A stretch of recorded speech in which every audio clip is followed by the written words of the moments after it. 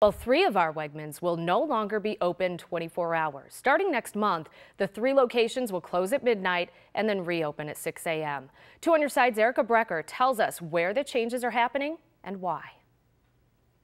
The love for Wegmans in Western New York is real.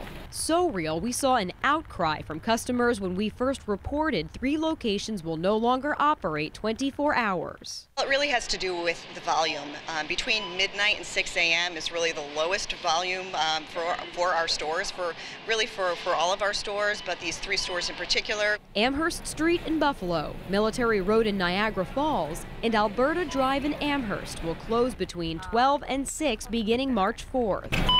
But don't locations like Buffalo and Alberta Drive seem perpetually crowded? Or they seem like maybe two of the most populated Wegmans?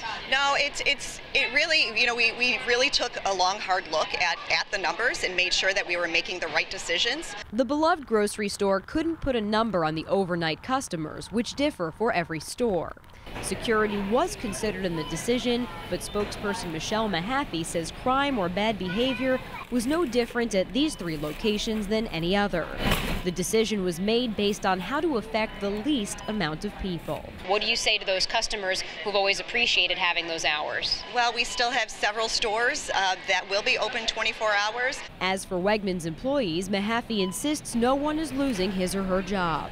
She says Wegmans recognizes that a lot of their overnight employees choose those hours for specific reasons, and they'll be allowed to stay on those hours all of our employees at those stores will still be working um, over the overnight hours. They just won't be doing that customer to customer interface. So what might they be doing overnight instead? Exactly what they've always been doing. Um, you know, uh, the, the folks who are stocking our, our shelves will be stocking our shelves overnight, um, prepping for the morning.